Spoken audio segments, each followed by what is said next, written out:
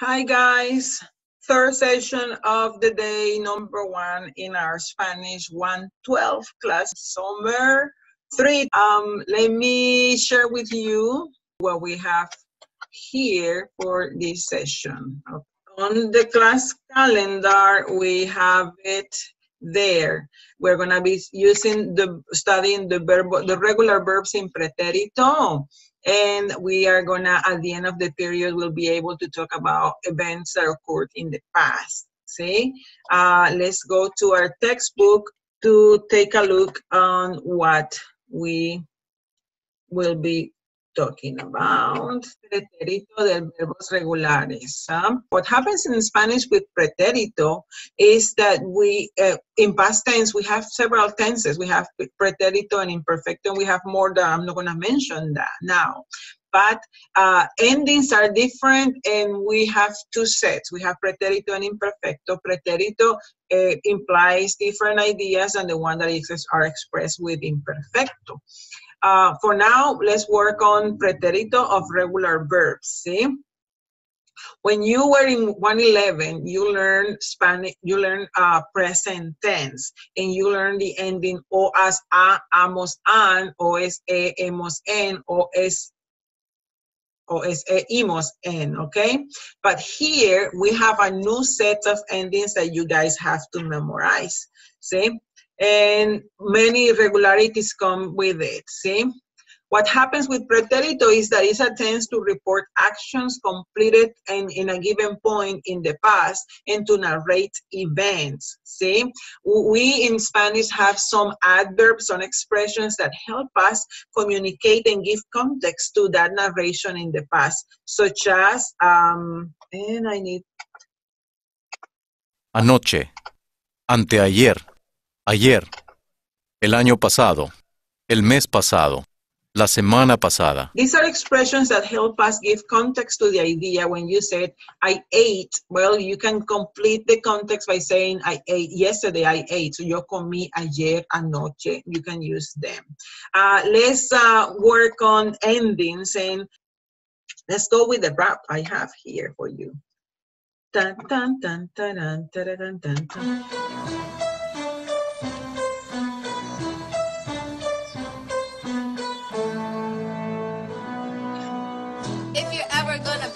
Dun, dun, dun, dun. take a lesson from the best. So just have a seat in Spanish class, and I guarantee that you'll be sure to pass.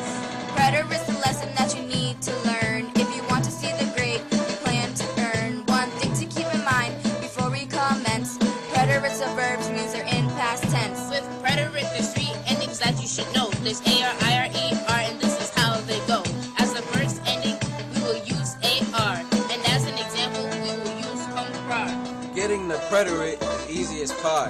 The same as conjugating. Different endings on the side. So just keep in mind to drop the AR. Now let's keep it moving with the word comprar. Yo gets the E, un accento, please. Greetings for this test will be as easy as a breeze. The pronoun tú gets the ending aste. Instead, LA, I guess the O with an accent. Nosotros. It never wants to change, like in STEM, changing verbs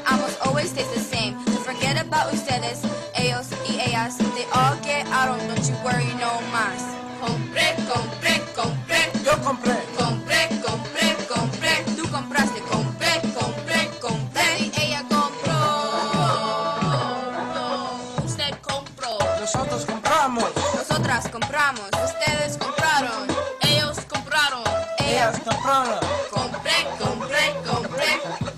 Now that you've got the AR down and right, the verb IR will no longer be in play. Same as in the past, its IR will erase, and then we'll add a new ending in its place.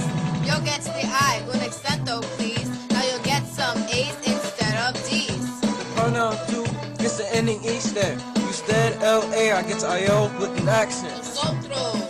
It never wants to change, like STEM changing verbs, emos always stays the same. Don't forget about ustedes, ellos y ellas. They all get quiero. You can test and pass.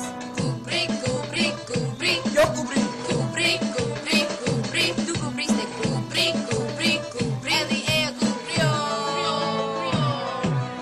Usted cubrió. Nosotros cubrimos. Nosotras cubrimos, ustedes cubrieron.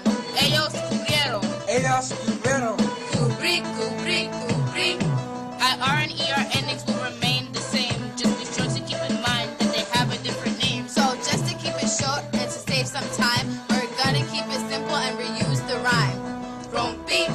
Rompí, rompí. Yo rompí. Rompí, rompí, rompí. Tú rompiste, rompí, rompí, rompí. Él rompió.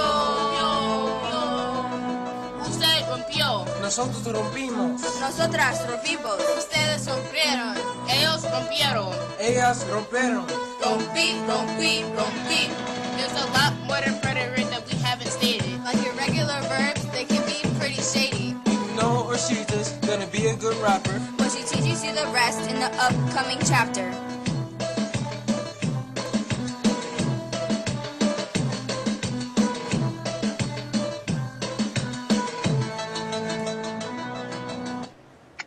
Okay.